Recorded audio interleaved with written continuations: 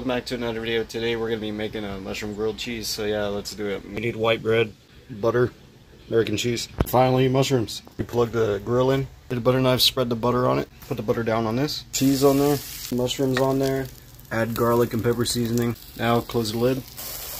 Cook maybe three, five minutes. Open it. It's already cooking, see? Still soft. Do not flip it, you'll mess it up.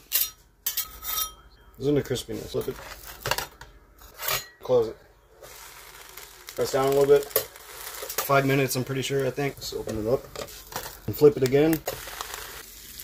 It's done. And now we have the sandwich. Look at that. Wait for it to cool down. Just try it.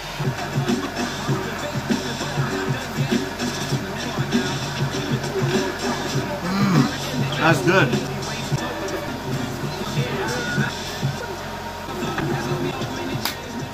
That's that was good. All right, like, comment, subscribe for more. Let me know what you think. I'm out. Peace.